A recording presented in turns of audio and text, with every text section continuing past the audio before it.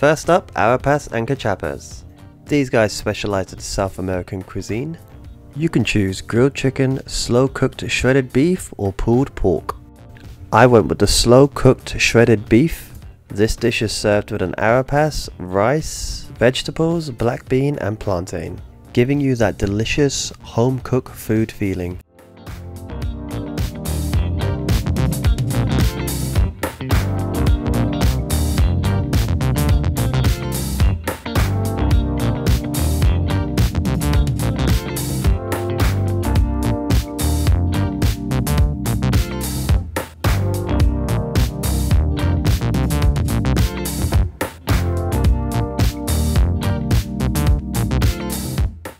Okay, we got some delicious slow cooked beef. Uh, we got some plantain, some beans, some rice, some salad. Okay, let's uh, let's give this beef a try with the rice. See what it's saying.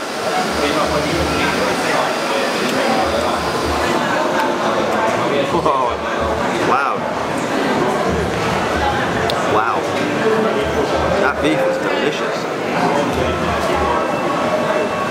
This is some good slow cooked beef. That's been cooked for hours and hours, maybe even a day. That is so tender, so delicious.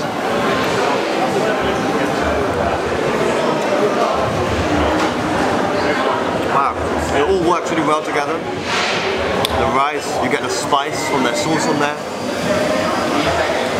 Wow, that's really nice beef. And it's got a nice, nice kick to it. Not too spicy, but that kick is very much appreciated. Wow, this feels like a really nice, delicious home cooked meal. You have to try this when you come in.